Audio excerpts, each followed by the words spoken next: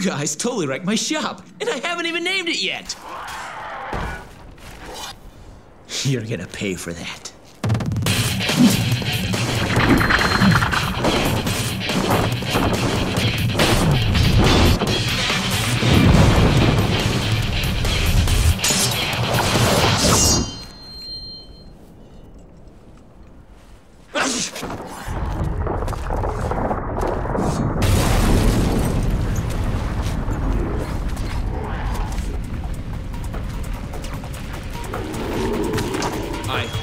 You have enough to cover all this.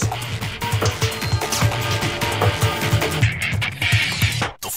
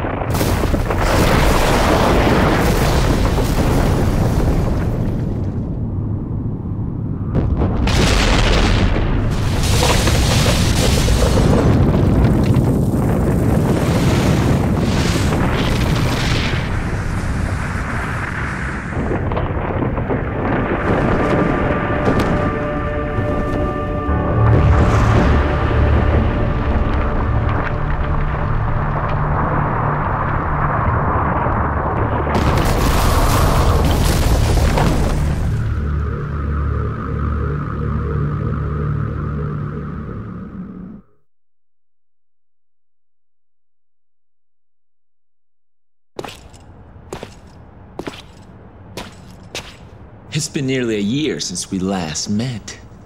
Where does the time go?